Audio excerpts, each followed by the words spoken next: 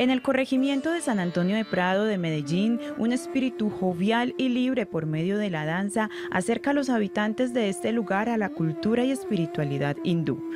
Oriana Gómez Londoño desde hace seis años es bailarina de danzas folclóricas de la India. Esta expresión le ha permitido estar más cerca de la fuerza y de las bondades que hay en este arte traído del país oriental, que le ha convertido en una de las principales promotoras de esta cultura en la ciudad. Una oportunidad también para abrirle campo a las mujeres.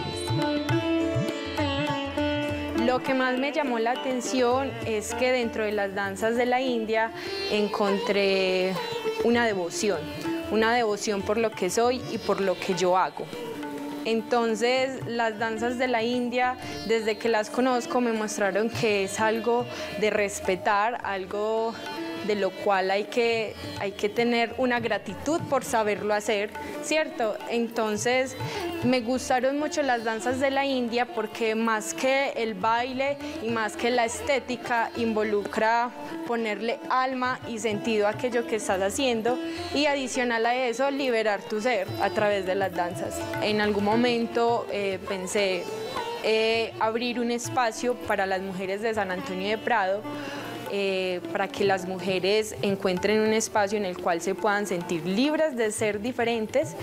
Adicional a eso, un espacio en el que puedan encontrar otras mujeres con las cuales compartir. En las danzas de la India vos podés sacar esa feminidad, ese poder femenino, ese chakti, como le dicen. El chakti es esa esencia, ¿cierto? Ese poder que usted tiene eh, para hacer lo que usted es. Entonces las mujeres por medio de las danzas de la India descubren dentro de sí que pueden ser coquetas, que pueden usar el papel de coqueteo, de niñas, eh, de la mujer mala, de la mujer enamorada.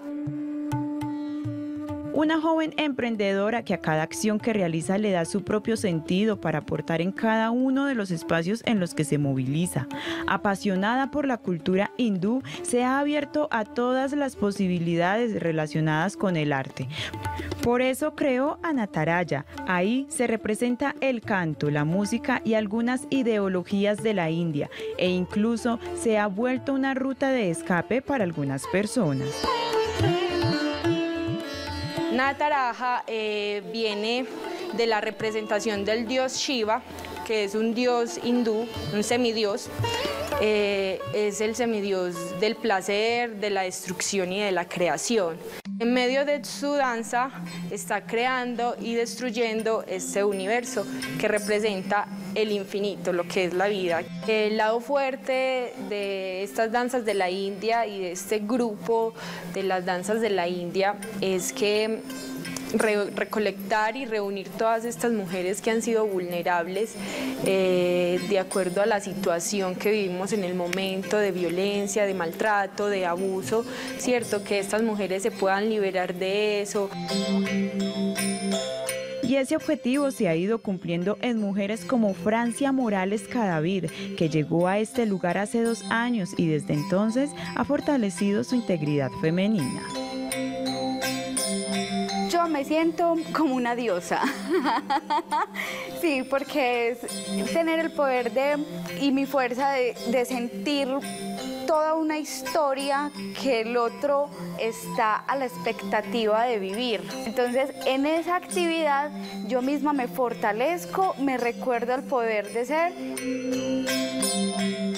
Una práctica que refleja la tradición de los dioses. Bailar es una manera de comunicarse con las deidades. Es una forma de dejar atrás la vida cotidiana y acceder al reino de la espiritualidad. Las danzas de la India tienen mucho que ver con la religión y la espiritualidad, ¿cierto?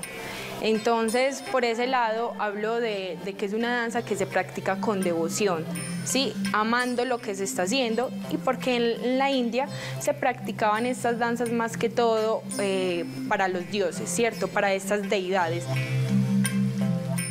Con la simbología corporal narran historias, reviven acontecimientos importantes y envían mensajes haciendo uso de los mudras, un lenguaje silencioso de autoexpresión con los que también se canaliza, equilibra y restaura el nivel energético del cuerpo. Uno de los aspectos muy resaltantes dentro de las danzas de la India son la codificación de los mudras. Es como todo un lenguaje que se usa para narrar la historia que estamos danzando o para darle un mensaje a ese Dios al que estoy danzando, ¿cierto?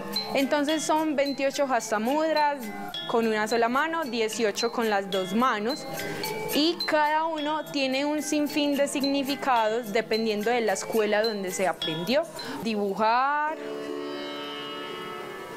dar de beber néctar a un dios, la luna, cabeza del león, bandera, media bandera, cabeza del oro, Sukatunda, que es hablar de cosas misteriosas, Mushti, significa la palabra, lo que puedo decir, y Samdanza, que significa el despertar. Dentro de la cultura hindú y las danzas de la India, nos hacemos estos dibujos en las manos para eh, dar a relucir esos mudras, para que el público se pueda fijar en nuestras manos y para que puedan ver esa variación de los mudras. Una mezcla de teatro, drama, poesía, música y un sinfín de emociones expresadas a través de la danza. Gracias a su riqueza artística, encanto y colorido se han convertido en un atractivo internacional. Hombres y mujeres se han identificado con este arte que reúne movimientos sexys, el coqueteo, la fuerza y las posturas delicadas. Dentro de las danzas de la India se juega con los dos lados, el femenino y el masculino. Le llaman el tandava y el lasya, ¿cierto? Porque dentro de la representación del dios Nataraya hay una parte que es femenina y otra parte que es masculina. El hombre eh, juega un papel importante porque es como esa inclusión por la diversidad de, eh, género, ¿cierto? Eh, muchos hombres de pronto quizás eh, tendrán el mito de que no pueden expresar ese lado femenino que sienten dentro de ellos, pero ahí está. Este es un espacio para que los hombres también encuentren dentro de sí ese lado femenino y puedan expresarlo sin ningún problema. Y las mujeres también hacemos lo mismo, sacamos nuestro lado femenino a relucir y nuestro lado masculino también, nuestra fuerza, nuestro, nuestro criterio. Cuando se relaciona el hombre en la danza hindú, no va con esa intención de depredador, por ejemplo, sino en realidad vamos a, a compartir y se respeta a la mujer como una figura principal de la sociedad. El vigor, la paz y la creatividad son fundamentales en esta conexión energética entre cuerpo y mente que reúne diferentes tipos de danzas. Hay tres ramas. Bollywood es la más eh, moderna. Entonces en Bollywood es más folclore, movimiento del cuerpo, más seducción y se mezcla más con movimientos de occidente. Eh, Gomar es una danza que es un poco más tradicional y en esta pues se utiliza más el cuerpo a ritual, pero siendo un poquito más suavecita los ritmos, en diferencia de la más tradicional, que es así, es súper impactante, es más fuerte y es para trabajar temas de la naturaleza. Aire, agua, fuego y tierra, elementos de la eternidad y el universo encarnados en sus pasos y movimientos hay unos pasos que son muy tierra, estos pasos muy tierra son unos pasos que conllevan fuerza, ¿cierto? Fuerza y esto es Tandava, o sea, la fuerza masculina y la fuerza de la tierra, ¿cierto? También el agua, el agua viene a ser nuestras expresiones sutiles de la cara. El aire también lo vemos a la hora de manejar nuestros giros. Y el fuego es ese poder que tú le pones el alma. El bindi, el sari, la corona, los colores vivos y el decoro son esenciales en la personificación y la estética de los practicantes. Dentro de las danzas de la India vemos dos conceptos que incluyen eh, el vestuario, la ornamentación y la expresión. La jarambinaya es la combinación de la ornamentación, del vestuario y del maquillaje.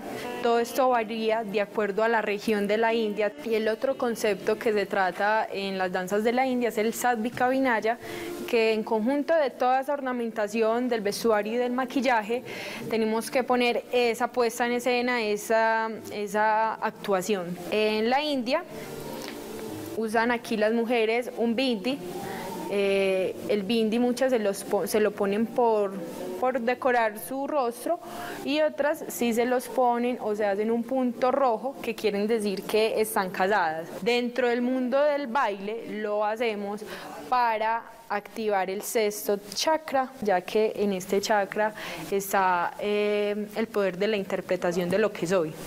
El mukuti, le llaman mukuti, lo que la argolla aquí en la nariz se la hacen en símbolo de castidad. Dentro de las danzas de la India es para simplemente ampliar y darle expansión a mi gestualidad. Los gungros, los gungros que son para sincronizar con el ritmo de la canción y con el paso que estoy haciendo.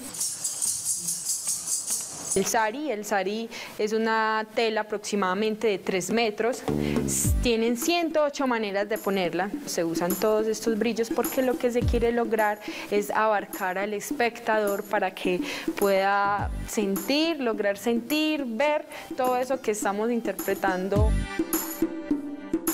Es así como Oriana fomenta la enseñanza de las danzas de la India para diversificar la cultura y junto con los integrantes de Nataraya usan la danza como vehículo de transmisión de valores, conocimientos y dogmas. Aunan pensamientos y sentimientos e inspiran emociones realmente profundas por medio del ritmo del ser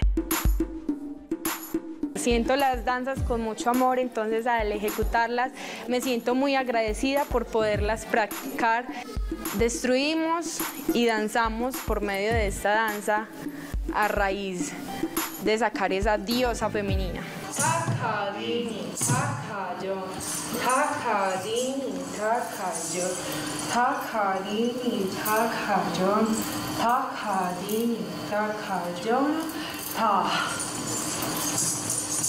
Namaste. Namaste.